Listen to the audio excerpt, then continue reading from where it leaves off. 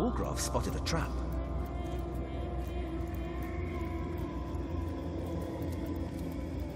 My God! What is that abomination?